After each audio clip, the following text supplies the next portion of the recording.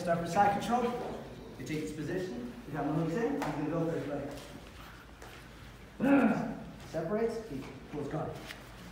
Shins in, face back. Posture up, he pulls, no, shins up. Hey, he face back again. I wrap the arm, right over, throw him. Eye back. Pin him down, head back. Come back, hit the ground. I posture using knee, extend your chest. Take the side control. Back. He pushes his hand, I get it away, lap Go to the ground, bird again. He strips, you're gonna need a chest. I start punching, hit, take the back, roll him over. To this position. Traps the second arm, he leans in.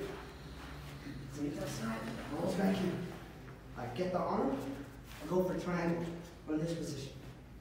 He postures up, he goes for his bite. Pops in, now he's a control. Beautiful.